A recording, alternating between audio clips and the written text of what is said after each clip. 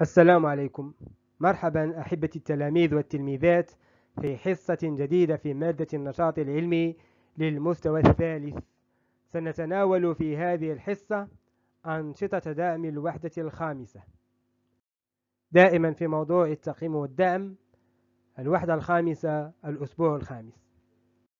إذا قلنا نحن في الحصة الثانية من الأسبوع الخامس للوحدة الخامسة وهي أنشطة دعم الوحدة. والهدف التعلمي من هذه الحصة هو أن أدعم مكتسباتي خلال الوحدة الخامسة. وأول ما نبدأ به هذه الحصة هو تذكير ببعض ما رأيناه خلال دروس هذه الوحدة. إذا تذكير رأينا أحبتي أن مصادر الأغذية متنوعة. منها ما هو ما مصدره نباتي ورأينا منها ما هو مصدر حيواني ورأينا أيضا أغذية مصدرها معدني. ثم رأينا المكونات الغذائية وقلنا بأن هي كالتالي السكريات الدهنيات البروتيدات الفيتامينات. ورأينا أيضا أحبتي أنه يجب علينا أن نتجنب بعض الأطعمة وخاصة تلك التي تسبب السمنة وتلك التي تسبب الهزال. ثم رأينا أحبتي في دروس موضوع التنفس أن الإنسان يتنفس من خلال عمليتي الشهيق والزفير وذلك بواسطة جهازه التنفسي. وقلنا بأن الجهاز التنفسي يتكون من العناصر التالية أنف حنجرة رغامة قصبة هوائية رئة.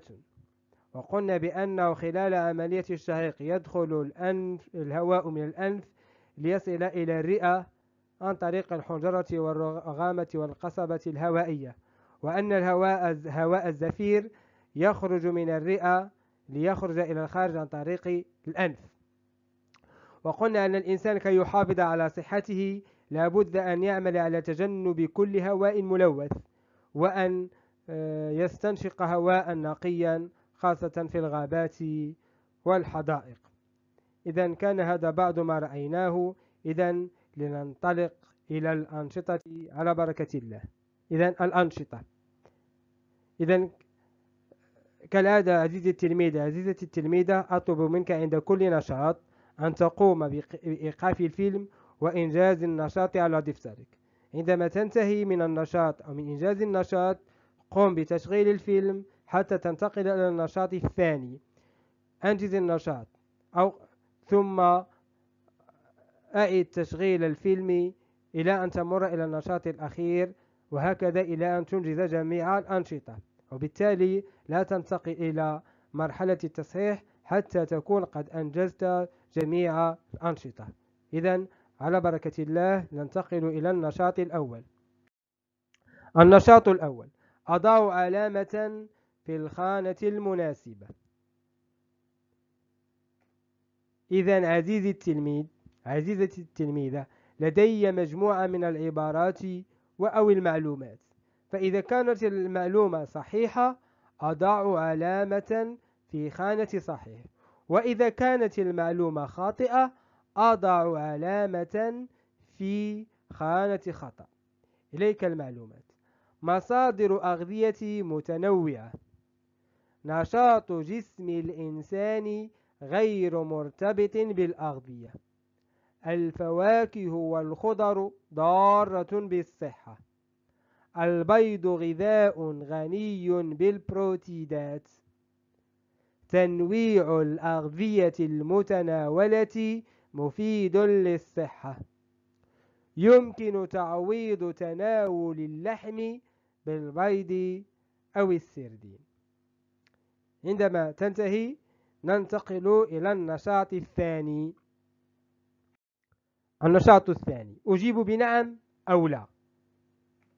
إليكم أحبتي مجموعة من المعلومات أيضا. فإذا كانت المعلومة صحيحة أكتب نعم في الخانة الفارغة. وإذا كانت المعلومة خاطئة أكتب لا في الخانة الفارغة. يؤثر التلوث على الجهاز التنفسي لدى الإنسان. أتفادى النوم في غرفة مغلقة بها موقد مشتعل. النزهة في غابة خلال النهار مفيد لصحتي دخان المصانع والسيارات لا يلوث الهواء ولا يضر بالصحة. لأن النشاط لننتقل إلى النشاط الثالث. النشاط الثالث. أكتب كلمة شهيق أو زفير في بطاقة كل رسم. إليك الرسم. ميني إذن ما العملية التي يمثلها الرسم الذي في الأعلى وما العملية التي يمثلها الرسم في الأسفل؟ ثم بعد ذلك أصل كل رسم بما يناسبه. لدي نافخ هواء في حالتين. ما هي الحالة التي تناسب كل رسم؟ يعني الحالة التي تمثل حالة الزفير والرسم الذي يمثل الشهيق. إذا بعد إنجازك لكل الأنشطة نمر عزيزي التلميذ عزيزة التلميذ إلى تصحيح. وأتمنى أنك قد أنجزت كل التمارين قبل أن تصل إلى هذه المرحلة من الفيلم. إذا التصحيح. نقوم الآن بتصحيح النشاط الأول. قلنا أضع علامة في الخانة المناسبة. مصادر أغذية متنوعة. هذه العبارة صحيحة ممتاز.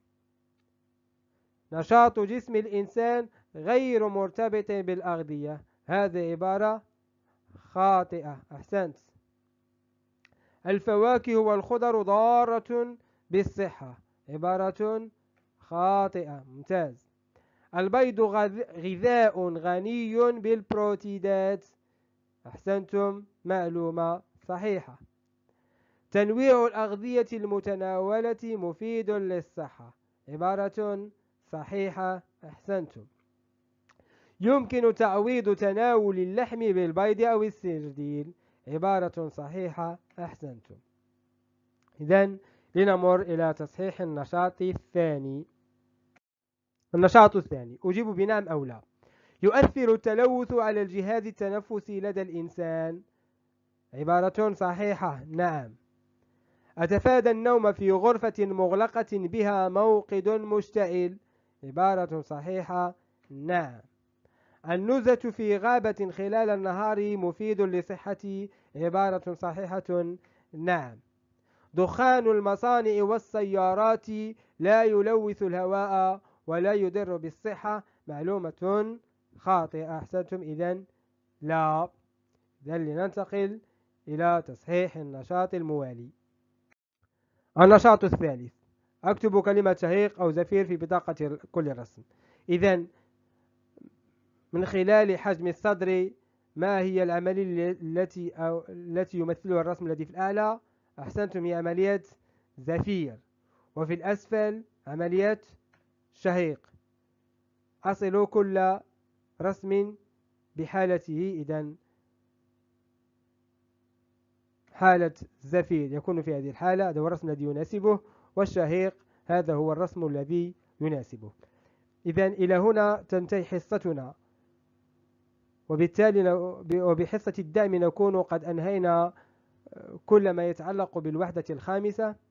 أتمنى أنكم قد استفدتم واستمتعتم واستمتعتم وإلى درس جديد. أترككم في حفظ الله ورعايته. والسلام عليكم ورحمة الله وبركاته.